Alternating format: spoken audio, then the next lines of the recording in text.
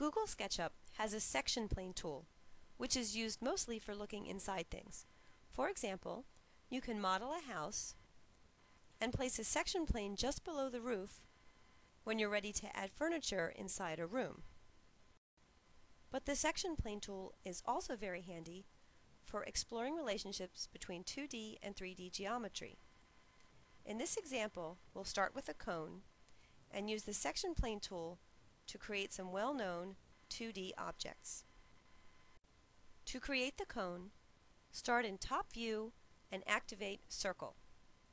A SketchUp circle is really a segmented approximation of a circle.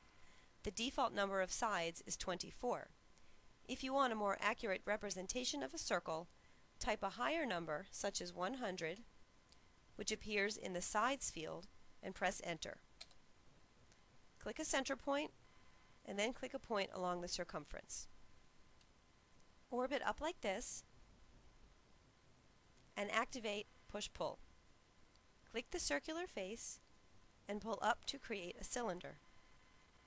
Now we need to shrink the top face of the cylinder.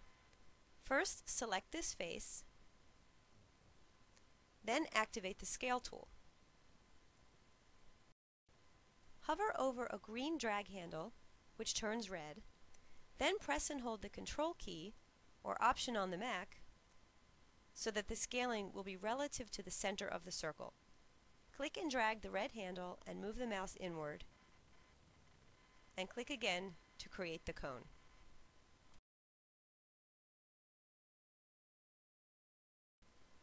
You can find the section plane tool in the Tools menu or down here in the large tool set.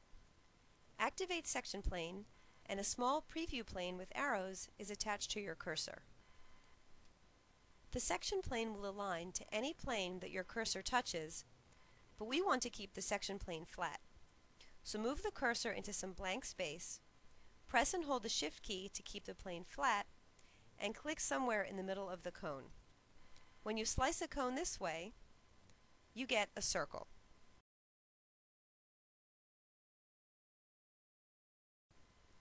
Now we'll see what happens when the section plane is rotated. A section plane can be manipulated just like any other SketchUp object. Start by selecting the section plane and orbit to a view like this. Then activate Rotate. When the cursor is up here, the protractor is vertical. Click to place the protractor somewhere around here, above the section plane. Then click anywhere and move the mouse to rotate the section plane. Click when you have a section like this. This 2D object is an ellipse. With the section plane still selected, activate Move. Moving a section plane is always done in the direction perpendicular to the plane. Click a point anywhere and move the mouse until the section plane is entirely within the cone. This 2D object is a parabola. With the section plane still selected, activate Rotate.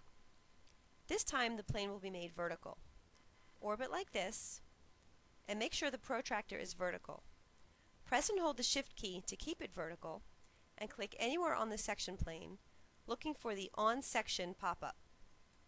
For the first rotation point, click somewhere else on the section plane, then rotate up until the plane is parallel to the blue axis.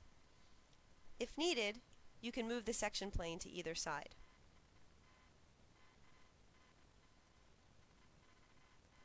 This 2D shape is a hyperbola. If you want to save your 2D shape, right-click on the section plane and choose Create Group from Slice. This creates a group consisting of the hyperbola and the horizontal line along the bottom. I'm going to move this group away from the cone. When you no longer need the section plane, activate the eraser and erase it.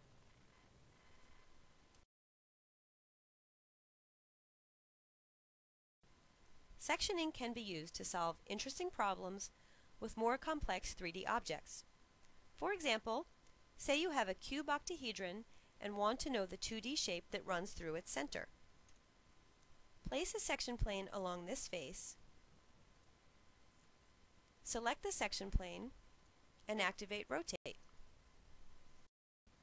Click and drag the mouse along this edge to define the rotation axis.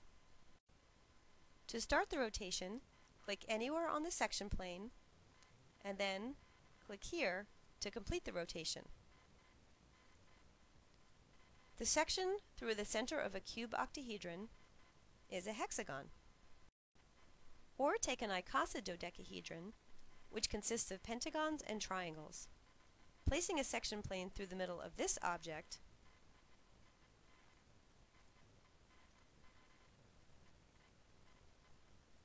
yields a decagon.